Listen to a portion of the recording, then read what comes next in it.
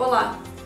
Em sessão extraordinária na madrugada do dia 19 de março, os vereadores aprovaram três projetos de lei. Entre eles está a autorização para o município aqui de Santa Maria comprar vacinas contra a Covid-19. Veja agora mais detalhes. O primeiro projeto autoriza o município de Santa Maria a adquirir vacinas para o enfrentamento da pandemia do Covid-19. Já o segundo projeto ratifica o protocolo de intenções firmado entre municípios brasileiros com a finalidade de adquirir vacinas também para o combate à pandemia do coronavírus, além de medicamentos, insumos e equipamentos na área da saúde.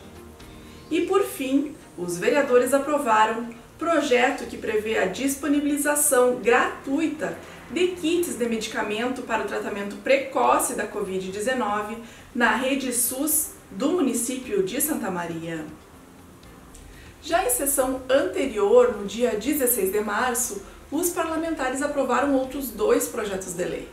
O primeiro estabelece prioridade da vacinação contra a Covid-19 aos professores e funcionários da educação pública municipal, estadual e privada que se encontrem em contato direto com os alunos. O segundo é um projeto de lei substitutivo que dispõe sobre o Conselho Municipal de Turismo e cria o Fundo de Desenvolvimento do Turismo. Também na última semana, em sessão plenária ordinária virtual, a vereadora Ellen Cabral, do Partido dos Trabalhadores, o PT, foi empossada. Ellen ocupará provisoriamente a cadeira do vereador Valdir Oliveira, que está afastado do Parlamento Municipal por estar hospitalizado com problemas de saúde em decorrência do coronavírus. Na oportunidade, a vereadora prestou o juramento de cumprimento do mandato parlamentar.